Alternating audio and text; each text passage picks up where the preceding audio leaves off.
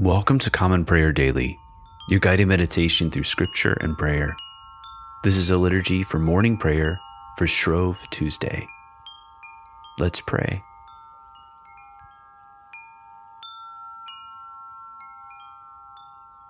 O Lord, how manifold are your works! In wisdom you have made them all. The earth is full of your creatures. Let us humbly confess our sins unto Almighty God. Almighty and most merciful Father, we have erred and strayed from your ways like lost sheep. We have followed too much the devices and desires of our own hearts. We have offended against your holy laws. We have left undone those things which we ought to have done. And we have done those things which we ought not to have done and apart from your grace, there is no health in us. O Lord, have mercy upon us. Spare all those who confess their faults.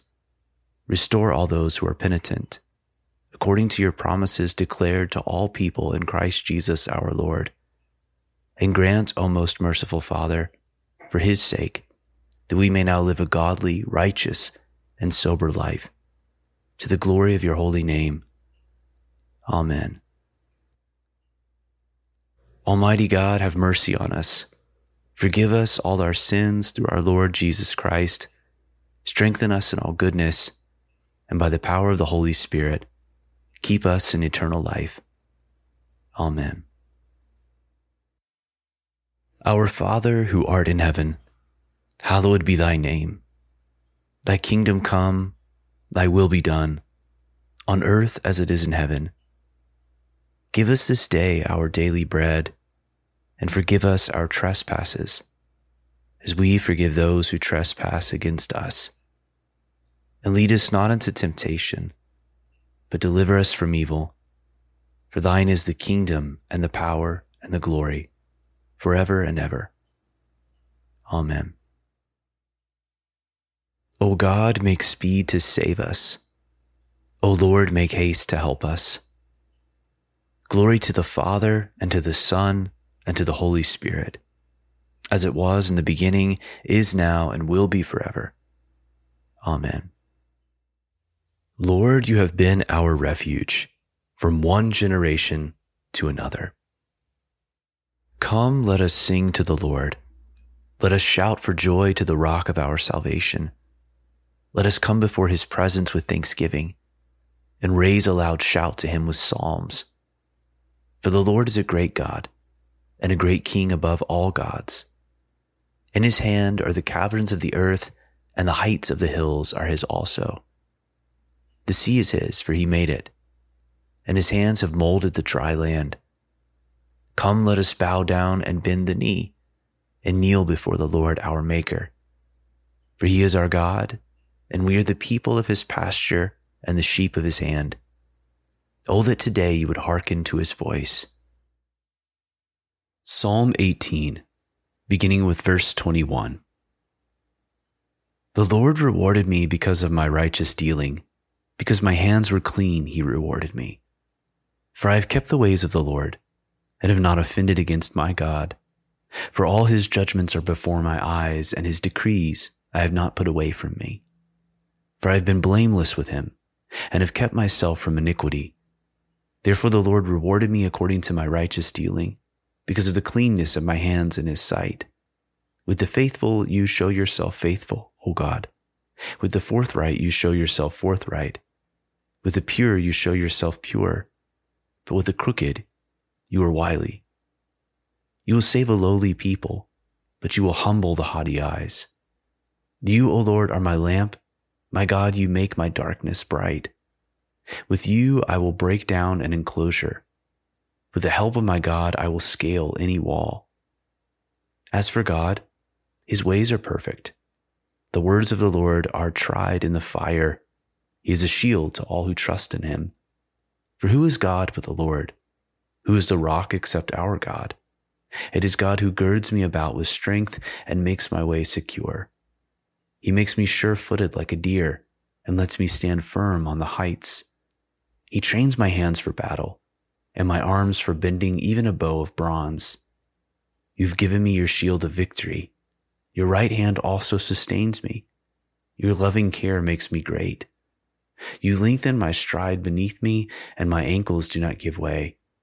I pursue my enemies and overtake them. I will not turn back till I have destroyed them. I strike them down, and they cannot rise. They fall defeated at my feet. You have girded me with strength for the battle. You've cast down my adversaries beneath me. You've put my enemies to flight. I destroy those who hate me. They cry out, but there is none to help them. They cry to the Lord, but he does not answer. I beat them small like dust before the wind. I trample them like mud in the streets. You deliver me from the strife of the peoples. You put me at the head of the nations. A people I have not known shall serve me. No sooner shall they hear than they shall obey me. Strangers will cringe before me. The foreign peoples will lose heart. They shall come trembling out of their strongholds. The Lord lives, blessed is my rock. Exalted is the God of my salvation. He is the God who gave me victory and cast down the peoples beneath me. You rescued me from the fury of my enemies. You exalted me above those who rose against me. You saved me from my deadly foe. Therefore will I extol you among the nations, O Lord, and sing praises to your name. He multiplies the victories of his king. He shows loving kindness to his anointed, to David and his descendants forever. Glory to the Father and to the Son and to the Holy Spirit, as it was in the beginning, is now, and will be forever. Amen. A reading from the book of Genesis, beginning with the 18th chapter, the 20th verse. Then the Lord said, Because the outcry against Sodom and Gomorrah is great, and their sin is very grave, I will go down to see whether they have done altogether according to the outcry that has come to me, and if not, I will know. So the men turned from there and went towards Sodom. But Abraham stood before the Lord. Then Abraham drew near and said, Will you indeed sweep away the righteous with the wicked? Suppose there are fifty righteous within the city. Will you then sweep away the place and not spare it for the fifty righteous who are in it? Far be it from you to do such a thing, to put the righteous to death with the wicked, so that the righteous fare as the wicked. Far be that from you. Shall not the judge of all the earth do what is just? And the Lord said, If I find at Sodom fifty righteous in the city, I will spare the whole place for their sake. Abraham answered and said, Behold, I have undertaken to speak to the Lord. I who am but dust and ashes. Suppose five of the fifty righteous are lacking. Will you destroy the whole city for lack of five? And he said, I will not destroy it if I find forty five there. Again he spoke to him and said, Suppose forty are found there. He answered, For the sake of the forty, I will not do it. Then he said, Oh, let not the Lord be angry, and I will speak. Suppose thirty are found there. He answered, I will not do it if I find thirty there. He said, Behold, I have undertaken to speak to the Lord. Suppose twenty are found there. He answered, For the sake of twenty, I will not destroy it. Then he said, Oh, let not the Lord be angry, and I will speak again, but this once. Suppose ten are found there.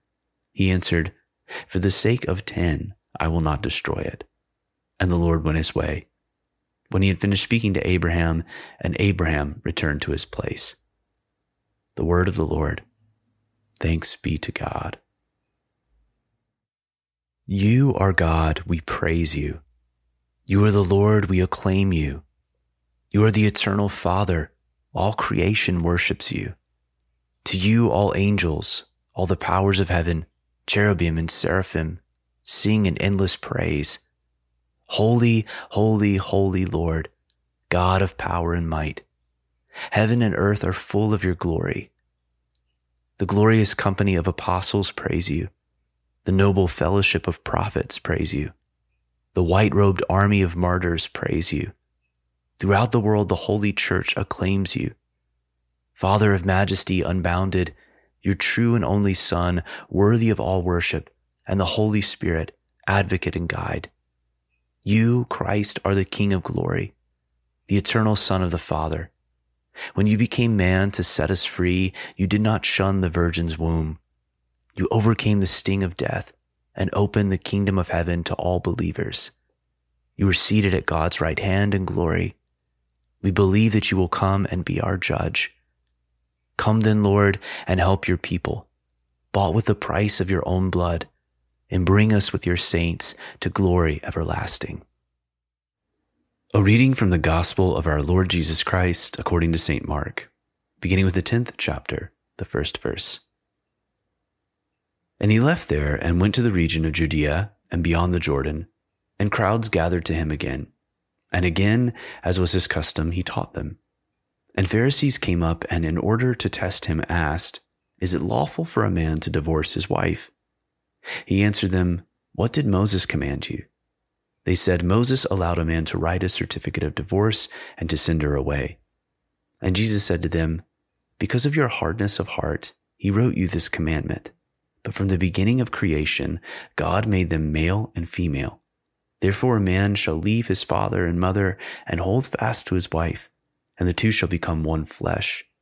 So they are no longer two, but one flesh. What therefore God has joined together, let not man separate. And in the house, the disciples asked him again about this matter. And he said to them, Whoever divorces his wife and marries another commits adultery against her. And if she divorces her husband and marries another, she commits adultery. And they were bringing children to him that he might touch them. And the disciples rebuked them. But when Jesus saw it, he was indignant and said to them, Let the children come to me. Do not hinder them, for to such belongs the kingdom of God. Truly I say to you, whoever does not receive the kingdom of God like a child shall not enter it. And he took them in his arms and blessed them, laying his hands on them. The word of the Lord.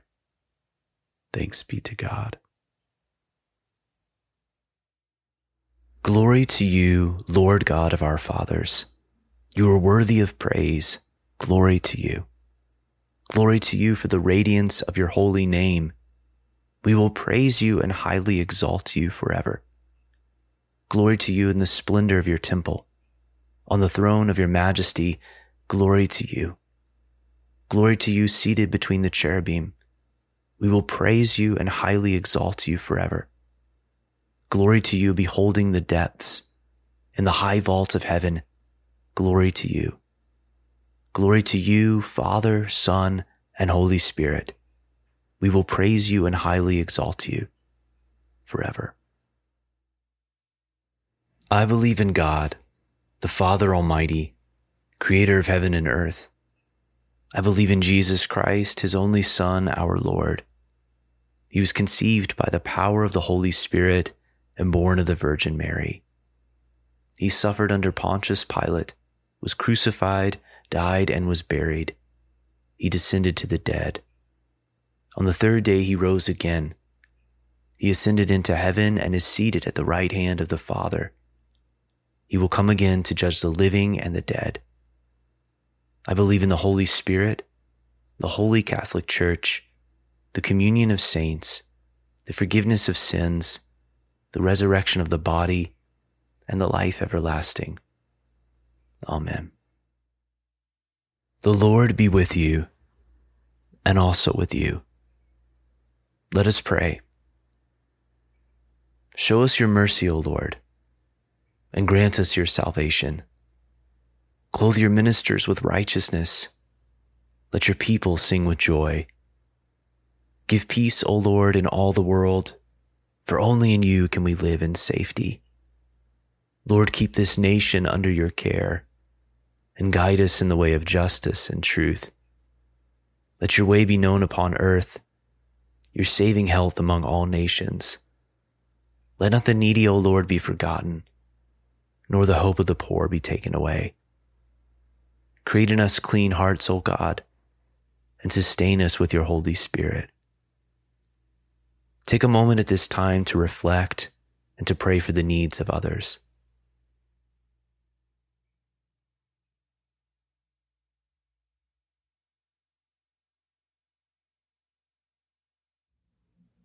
Lord God, you have taught us that whatever we do without genuine love is worth nothing in your sight.